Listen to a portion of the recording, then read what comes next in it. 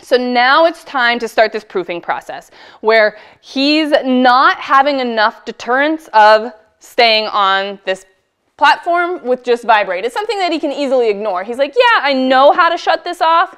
I know what to do, but vibrate's not that big of a deterrent for me to get back off of the platform. So I've got my collar, I'm using the DD700, and I've got the collar, I'm just double checking, making sure it's set to a 1. So if he gets off of his platform now, I'm going to redirect him with some stimulation.